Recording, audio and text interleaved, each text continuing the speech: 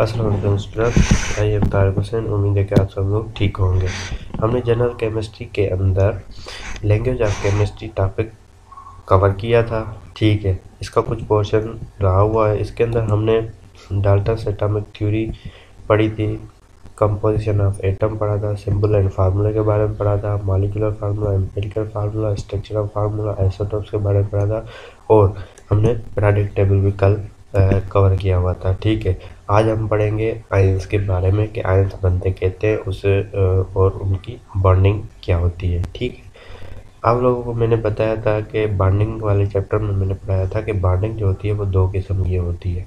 ठीक है कौन कौन सी होती है? एक कोवलेंट होती है, ठीक है, दूसरी आयोनिक होती है। एक कोवलेंट का मतलब होता है कि उसके अंदर आइटम क्या करते हैं? अपने इलेक्ट्रॉन शेयर करते हैं। ठीक है ट्रांसफ़र नहीं करते कंप्लीट ट्रांसफॉर्मेशन नहीं होती शेयर ऑफ़ इलेक्ट्रॉन होती है। और आयन जो होते हैं, उसके अंदर क्या होता है? इलेक्ट्रॉन शेयर होता है। कम्प्लीटली एटम एटम जो है, वो इलेक्ट्रॉन अपना दे देता है या ले लेता है किसी से, ठीक? तो हम आ जाते हैं कि आयन जो है पॉजिटिव चार्ज होती है आयन के ऊपर नेगेटिव चार्ज भी होती है। जैसा कि यहाँ पे देख रहे हैं कि सोडियम है सोडियम एटम है ठीक है? उसका जो वैलेंस शेल है, जो वाइट में नज़र आ रहा है, ये वैलेंस शेल है। इसका, इसके अंदर इलेक्ट्रॉन कितना है? इसके पास एक है। और इसके पास ज़रूरत किसकी है? पेयर बनाने के लिए एक की इसको ज़रूरत है। तो ये अपने इतने सारे इलेक्ट्रॉन दे नहीं सकता, क्योंकि ये ले भी नहीं सकता, क्योंकि इसके पास अपनी इतनी कैपेसिटी है नहीं, ठीक है? तो ये क्या करेगा? ये अपना इलेक्ट्रॉन इसको दे के खुद भी ये वैलेंस ये जो शेल है वैलेंस शेल इसको ख़त्म कर देगा और ये इलेक्ट्रॉन लेके अपना शेल कंप्लीट कर देगा। ठीक है?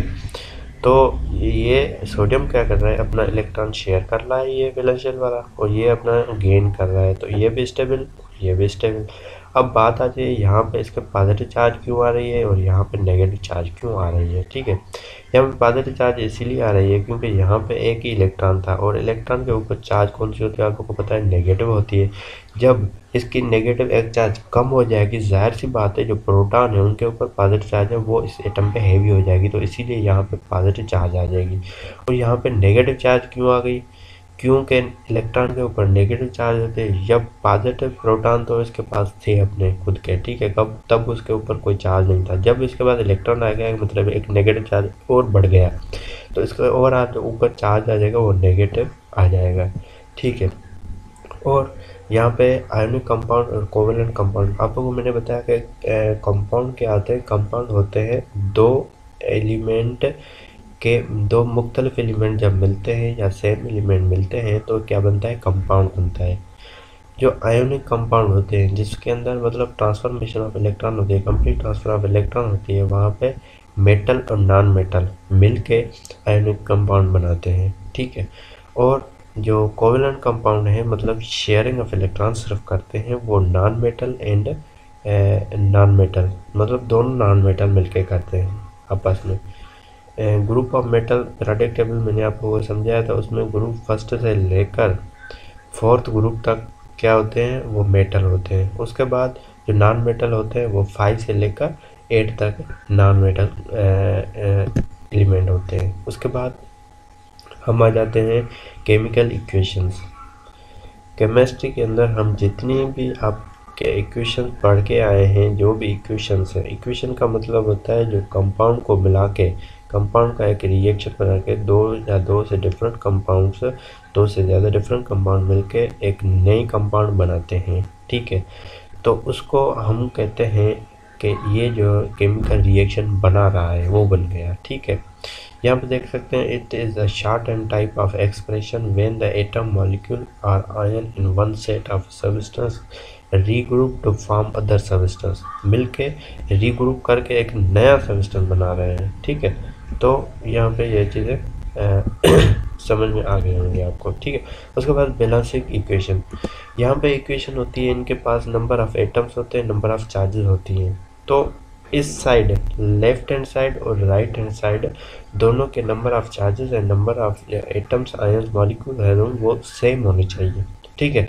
उसको हम बैलेंस करने के लिए हम क्या करते हैं? उसको कहते हैं बैलेंस इक्वेशन ये करते हैं, ठीक है? Balance chemical equation is indicated that the coefficient of substance is same with molecule its substance ठीक है? We must balancing the number of atoms in the reaction and also the charges of substance. Number of atom and charges को balance करवाते हैं। ठीक है?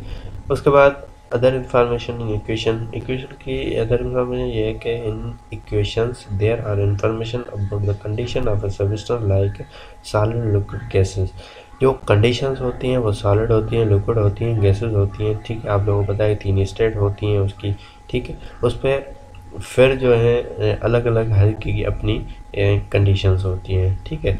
जैसे, above और below the arrow ये एरो है, इसके अबो और below there is information about condition of the reaction such as electrostatic is for electrolysis and delta is for that reaction carried out heat जब ये रिएक्शन होता है, ठीक है, जब इसको मतलब डिकम्पोज करवाया है तो डिकम्पोज करवाने के लिए हमने इसको क्या किया? हीट देनी होती है। जब हीट देते हैं तो ये हीट की नोटेशन है, इसको हमने इतनी हीट दी है, ठीक है, और ये सी ए ओ और सी ओ टू में डिकम्पोज हो गया।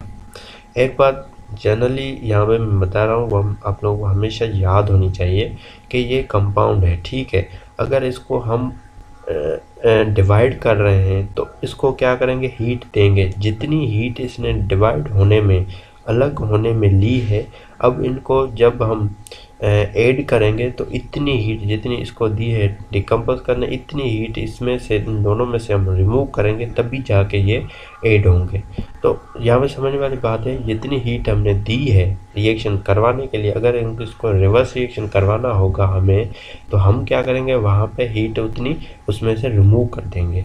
तो ये हमारा ऐसे रिएक्शन हो जाएगा। और यहाँ पर स्टेट बताया ये सॉलिड में सॉलिड में और ये फिर सी ओ टू गैसेज में होता है, ठीक है? उसके बाद equations for ionic ionic reaction ठीक है? इसको हम इंशाल्लाह कल डिस्कस करेंगे, कल वाले लेक्चर में। थैंक यू शुक्रिया।